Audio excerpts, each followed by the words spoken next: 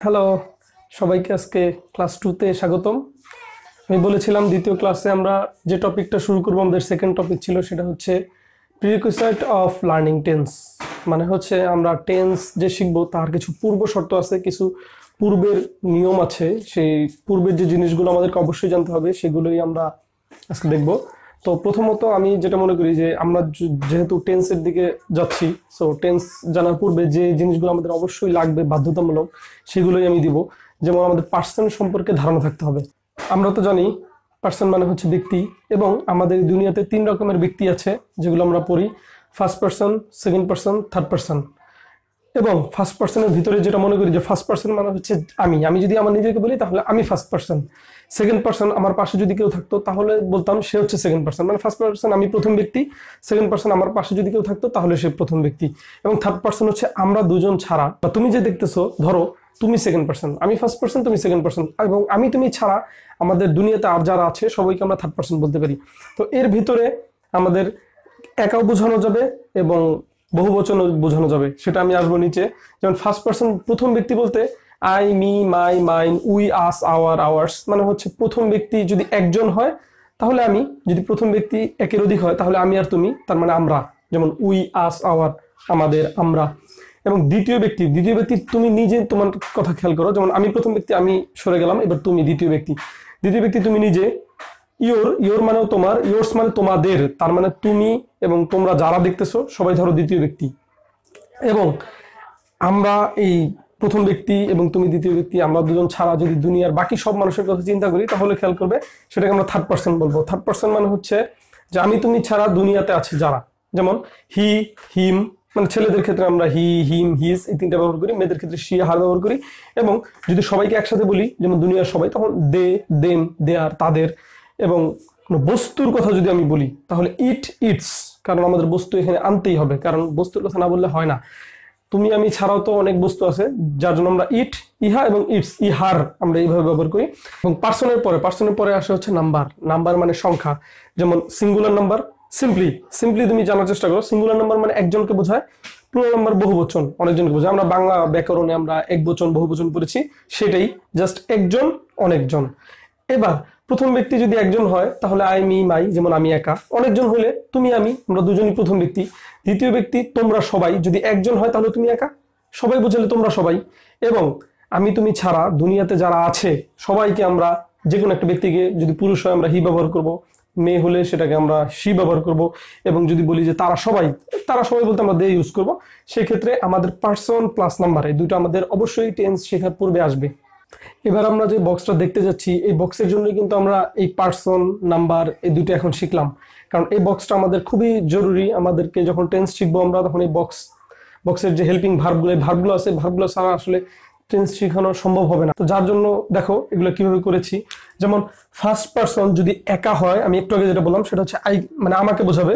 যদি অনেকজন হয় প্লুরাল বহুবচন হয়, তখন সেটা উই হয়ে যাবে। তার মানে ফার্স্ট পার্সন একা হলে আই বহুবচন হলে উই। সেকেন্ড পার্সন যেমন তুমি যদি নিজে মনে করো, তুমি নিজে সেকেন্ড পার্সন তুমি একা হলে ইউ, তুমি এবং ইউ। ইউ মানে তুমি এবং তোমরা সবাইকে বোঝানো যায়। এবং থার্ড পার্সনের ক্ষেত্রে যদি এক, একজন কোনো ব্যক্তি হয় হি সি ইট অথবা যে কোনো রকমের দুনিয়াতে নাম আছে, সে নাম। এবং যদি সবাইকে বোঝায় থার্ড পার্সনটা প্লুরাল মানে বহু বচনে বোঝায়, তখন হয়ে যায় দে মানে তারা। এখন আমি এখানে একটা জিনিস পাশাপাশি লিখে দিলাম, সেটা হচ্ছে হ্যাজ আমরা যখন হ্যাভ আর হ্যাজ ইউজ করব, আমাদের টেন্সে বা আমাদের অন্যান্য যত রকমের আমরা ইংলিশ ব্যবহার করব, আমরা সবচেয়ে বেশি ভুল করি হচ্ছে হ্যাজ ব্যবহার ক্ষেত্রে। যেমন হি এর সাথে আমরা হ্যাভ বসাই সি এর সাথে হ্যাভ বসাই ইটের সাথে হ্যাভ বসাই, নামের সাথে না, এটা আমাদের সবচেয়ে বড় ভুল।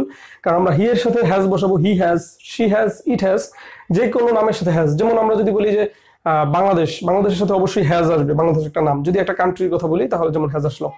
এবং হ্যাবের কথা যদি বলি, তাহলে এই যে third person singular number third person singular দেখো singular third person third person singular নাম্বারের ক্ষেত্রে শুধুমাত্র হ্যাজ বাকি যতগুলো নাম্বার আছে, সবগুলোর সাথে হ্যাভ যেমন আই এর সাথে have you have we have you have they have তার মানে এইগুলো ছাড়া বাকি সবগুলোর সাথেই হ্যাভ বসানো যায়। এবং সিঙ্গুলার নাম্বারের ক্ষেত্রে আমরা ইজ এবং ওয়াজ ইউজ করব। আমাদের হেল্পিং ভার্ব যখন ইউজ করব, যেমন ইউ প্লুরাল যতগুলো প্লুরাল নাম্বার আছে, আমরা কিন্তু প্লুরাল নাম্বারের ক্ষেত্রে আর এবং ওয়ার ইউজ করব। We are we are you are you are they are they are. সেই সেম ক্ষেত্রেও ইউ এর ক্ষেত্রেও আরই হবে আরই হবে। আয়ের সাথে আমরা কি ইউজ করতে পারি? আয়ের সাথে আমরা যেমন এম ইউজ করি আই এম তারপরে তুমি তুমি যদি খেয়াল করো হি এর সাথে শি এর সাথে শি ইজ হতে পারে শি ওয়াজ হতে পারে। তার মানে আমরা থার্ড পার্সন সিঙ্গুলার নাম্বারের ক্ষেত্রে আমরা ইজ অথবা ওয়াজ ইউজ করতে পারি। সেই ক্ষেত্রে আমাদের ইজ এবং ওয়াজ আসলো। শুধু ইউ এর সাথে একমাত্র আর হয়, কারণ ইউ একজনকে বোঝাতে পারে, অনেকজনকে বোঝাতে পারে। বাকি সবগুলোর প্লুরাল নাম্বারের সাথে মানে একের অধিক বোঝালে আমরা সবসময় আমরা যখন এক বচন এবং বহু বচনের কথা ওটা বলি, কারণ আমরা সিঙ্গুলার নাম্বার প্লুরাল নাম্বার আমাদের সেন্টেন্স ইউজ করতে হয়, আমরা একের অধিক যখন বোঝাবে, আমরা অবশ্যই সেটার সাথে প্লুরাল নাম্বারের সাথে আমরা প্লুরাল ভার্বগুলো ইউজ করব। আর আর একা যদি বোঝায় তখন ইজ ওয়াজ তবে হ্যাশটা খুবই জরুরি, যার জন্য আমি হ্যাশটা দেখালাম। টেন্স শিখতে গেলে আমাদেরকে অবশ্যই কিছু মেইন ভার্ব আছে, যেগুলো আমরা স্ট্রং ভার্ব এবং উইক ভার্ব বলে থাকি, সেগুলো আমাদেরকে শিখতে হবে এবং কিছু হেল্পিং ভার্ব দরকার আছে। হেল্পিং ভার্ব মানে আমাদের সাহায্যকারী ক্রিয়া, এগুলো আমাদের বসাতে হয়। এখন কিছু কিছু ক্ষেত্রে হেল্পিং ভার্বগুলো মেইন ভার্ব হিসেবে ব্যবহার করা হয়। আমরা অনেক বাক্যে সেগুলো ব্যবহার করি। যেমন আই আমি যদি বলি যে আই এম স্টুডেন্ট এই, সেই ক্ষেত্রে কিন্তু এমটা মেইন ভার্ব হিসেবে ব্যবহার করা হচ্ছে। সো আমাদেরকে এটা অবশ্যই টেন্স শেখার পূর্বে জানতে হবে। তো দেখো টু বি ভার্ব আমাদের আটটা টু বি ভার্ব আছে, আমরা টু বি ভার্ব মানে জানি am is are was were be being been তারপর টু হ্যাভ ভার্বের কথা যদি বলি হ্যাভ হ্যাজ হ্যাড আমি একটু আগেই বলেছি হ্যাড যেমন সবার সাথে ব্যবহার করা যাবে হ্যাড হচ্ছে পাস্টের কথা বোঝায়, এবং হ্যাভ আর হ্যাজের ব্যবহারটা দেখাইছি হ্যাজটা হচ্ছে থার্ড পার্সন সিঙ্গুলার নাম্বার সাথে বসে হ্যাভ যে কারোর সাথেই বসতে পারে, শুধুমাত্র থার্ড পার্সন সিঙ্গুলার নাম্বার ছাড়া। তারপর টু ডু ভার্বের কথা যদি বলি ডু ডাজ ডিড এই তিনটা এবং মডেল অক্সিলারি আমরা অনেক মডেল অক্সিলারি নাম জানি, কিন্তু আসলে সবগুলো আমাদের মনে থাকে না। দেখো কি কি মডেল অক্সিলারি ভার্ব হতে পারে আমাদের বাক্যে। আমরা নানান জায়গায় ইউজ করতে পারি, যেমন can could may might shall should will would must need dare ought to use to going to had better would rather তো আমি একটু ভাঙিয়ে বলে দিচ্ছি, যেমন আমরা তো ক্যানকুড মানে জানি। কোনো কিছু সম- পারা বোঝালে ক্যানকুড বোঝায়। মে মাইট সম্ভাবনা বোঝালে। শ্যাল শুড উচিত বোঝালে। উইল উড, ভদ্রতার খাতিরে আমরা উইল উড ব্যবহার করে থাকি কিছু কিছু ক্ষেত্রে, যেমন আই উড লাইক টু যদি বলি, তার মানে ভদ্রতা বোঝাচ্ছে। মাস্ট মানে অবশ্যই কোনো কাজ বোঝালে নিড মানে প্রয়োজন আমরা জানি। Dare you dare not to do this যদি এরকম কোনো কথা বলি ডেয়ার মানে সাহস যদি বোঝায় অট টু অট টু মানে অবশ্যই বোঝাবে, কিন্তু সেটা শ্রদ্ধার সাথে। যেমন যদি বলি যে I we ought to love our country আমাদেরকে, আমাদের দেশকে ভালোবাসতে হবে। সেই ক্ষেত্রে কিন্তু অবশ্যই বোঝালেও সেটা শ্রদ্ধার সাথে বোঝায়। ইউজ টু ইউজ টু মানে অভ্যস্ত। I use to read books যদি বলি, তাহলে ইউজ টু অভ্যস্ত বোঝায়। গোয়িং টু দেখো গোয়িং টু আমরা যদি গোয়িং এর কথা বলি, সেটা আমরা যখন দেখব, সেটা টেন্সের ভিতরে পড়তে পারে এবং মডেল অক্সিলারি নিয়ম পড়তে পারে। যদি গোয়িং টু এর পরে ভার্বের একটা ফর্ম থাকে গোয়িং টু এর পরে বি লিখে দিচ্ছি, তার মানে গোয়িং টু বি হতে পারে বা ভার্বের যে একটা ফর্ম হতে পারে। এই বি মানে কিন্তু টু বি ভার্ব না, মনে রাখতে হবে। এবং লাস্টে হচ্ছে হ্যাড বেটার হ্যাড বেটার মানে হচ্ছে ভালো হয় কোনো কাজ যদি বোঝাই। এবং উড্রেদার, বরং, উড্রেদার মানে হচ্ছে বরং বরং বুঝলে। আমাদের টেন্স শিখতে হলে অবশ্যই এগুলো দরকার। এগুলো ছাড়া টেন্সের স্ট্রাকচার আমি তোমাদেরকে বোঝাতে পারব না। সো এখন আমরা দেখব টেন্সের জাস্ট আর একটু জিনিস বাকি আছে, সেটা আমরা দেখব। এবার আমরা শিখব হচ্ছে সাবজেক্ট এবং অবজেক্ট সবচেয়ে মোস্ট ইম্পর্টেন্ট এবং মোস্ট ক্রিটিক্যাল আমাদের টেন্সের মধ্যে, কারণ আমরা মূলত সাবজেক্ট ধরতে পারলেও আমরা অবজেক্ট ধরতে পারি না, যার জন্য সাবজেক্ট কীভাবে চিনবো এবং অবজেক্ট কীভাবে চিনবো, সেই চেনার উপায়গুলো লিখলাম। দেখেন, যে সাবজেক্ট হচ্ছে কোনো বাক্যের বাক্যের কর্তাকে বোঝায়। একটা বাক্য যে সম্পাদন করে, যে ব্যক্তিটা, কর্তাটা যে, তাকে বোঝায় সাবজেক্ট যে হ্যাঁ আমি কাজটা করতেছি, তার মানে আমি সাবজেক্ট সে কাজটা করতেছে, সে সাবজেক্ট কোনো ব্যক্তি করলে সে ব্যক্তি, তার মানে বাক্যের যে কর্তা, সেটা হচ্ছে সাবজেক্ট এবং বাক্যে যে ভার থাকে, সে ভারকে কি এবং কে দিয়ে প্রশ্ন করলে, কে করেছে হু কি করেছে হোয়াট দিয়ে প্রশ্ন করলে ভার্বকে প্রশ্ন করলে যদি উত্তর বের করতে পারেন যে হ্যাঁ এটা আমি করেছি, তার মানে কে, কি করেছি? প্রশ্ন করলে যে উত্তর পাওয়া যাবে, সেইটাই হচ্ছে সাবজেক্ট সাবজেক্ট নাউন বা প্রোনাউন হতে পারে। নাউন মানে আমরা যে যেমন জানি যে নাউন মানে যে কোনো রকমের নামকে বোঝায়।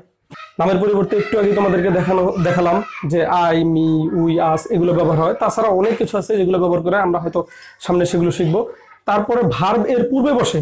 সাবজেক্ট মূলত যে কোনো একটা বাক্যের সাবজেক্ট ভার্বের পূর্বে বসে এবং বাক্যের প্রথমে বসে। এটা জাস্ট আমাদেরকে মানে ধরে নিতে হবে যে হ্যাঁ ভার্ব কোথায় আছে? ভার্বটা যদি আমরা মানে ধরে নিতে পারি যে এটা ভাব তাহলে ভার্বের পূর্বে হয়তো সাবজেক্ট অবশ্যই থাকবে এবং সাবজেক্ট ছাড়া কিন্তু কোনো বাক্য তৈরি হয় না। তো আমরা অবশ্যই সাবজেক্টের দরকার আছে। এবার অবজেক্টে চলে আসি। অবজেক্ট কীভাবে চিনবো? সবচেয়ে মোস্ট জটিল একটা কাজ হচ্ছে অবজেক্ট খুঁজে বের করা।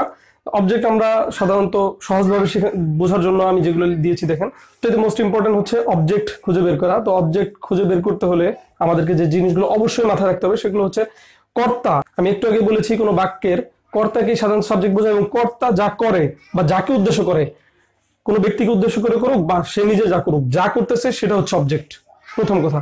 কর্তা যা করতেছে এবং সে কোনো ব্যক্তিকে উদ্দেশ্য করে করতেছে কিনা, সে কোনো কাজকে উদ্দেশ্য করে করতেছে কিনা, সেইটা হবে অবজেক্ট এবং কি কাকে কাদেরকে, কি করতেছে, কাকে বলতেছে, কর্তা কাকে উদ্দেশ্য করে বলতেছে এবং কাদেরকে উদ্দেশ্য করে বলতেছে?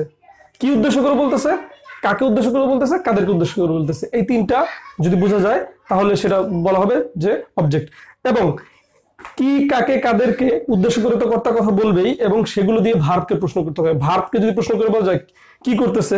কাকে নির্দেশ করতেছে? কর্তা কাদেরকে নির্দেশ করতেছে? ভার্বকে প্রশ্ন করলে সেটা ভার্বই অটোমেটিক অ্যান্সার দিয়ে দিবে। এবং নাউন এবং প্রোনাউন একটু আগে বলেছি নাউন প্রোনাউন সাবজেক্টেও হতে পারে অবজেক্টেও হতে পারে। এবং ভার্বের পূর্বে যেহেতু সাবজেক্ট হয়, তাহলে অবশ্যই ভার্বের পরে আমাদের অবজেক্ট হবে। ভার্বের পরে সাধারণত অবজেক্ট হয়। তো আমি আবার বলে নিচ্ছি যে আমরা সাবজেক্ট অবজেক্ট অনেক বিশাল, হয়তো অনেক বিশাল, আমরা সিম্পলি মনে রাখার জন্য টেন্স শেখার যে পূর্ব prerequisite of learning tense আমি যেটা বলেছি যে টেন্স শেখার পূর্ব অবশ্যই তোমাদেরকে এগুলো জানতে হবে। কারণ টেন্স যদি প্রপারলি জানতে চাও, তাহলে কখনোই এই যে টেন্স শেখার যে পূর্ব শর্ত যেগুলো দেখালাম, এগুলো ছাড়া টেন্স শিখতে পারবে না। সেজন্য যে বারোটা স্ট্রাকচার আমাদের দরকার, সেটা আমি পিডিএফ ফাইল দিয়ে দিব। তোমরা পিডিএফ ফাইল যদি প্রিন্ট করতে পারো, তাহলেই হয়ে যাবে। এবং আমাদের টেন্সের শেখার যে পূর্ব শর্তগুলো, এগুলো আমাদেরকে অবশ্যই জানতে হবে। তা না হলে টেন্সে আমি ভালোভাবে শেখাতে পারব না। এবং আশা করছি সাবজেক্ট অবজেক্ট শুধুমাত্র টেন্সের জন্য না, যারা সিনিয়র পার্সন আমার এই ভিডিওটা দেখতেছেন, তাদেরও সাবজেক্ট অবজেক্ট হয়তো কিছুটা হলেও ক্লিয়ার হয়েছে। তো আশা করছি যে নেক্সটে আমরা টেন্স শুরু করব। সবাই ভালো থাকবেন।